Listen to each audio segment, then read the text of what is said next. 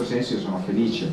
eh, di avere scelto come direttore generale del, del, dell'Inps una persona come, come, Massimo Cioffi che ha proprio queste competenze, perché trovo che oggi eh, all'interno dell'Inps, ma anche in molte altre amministrazioni pubbliche, queste competenze manchino e invece c'è proprio davvero bisogno di loro, perché senza cambiare l'organizzazione sarà molto difficile dare, esprimere quelle potenzialità intorno a quello che dicevo all'inizio, che ci sono, perché ci sono davvero delle persone eh, che eh, danno tantissimo oggi e che eh, hanno davvero entusiasmo e volontà di servire i, i cittadini e mi chiedo talvolta come facciano a essere così entusiasti e a dare tutto questo in una situazione in cui la struttura, l'organizzazione è da definire bizantina forse è dir, è dir poco.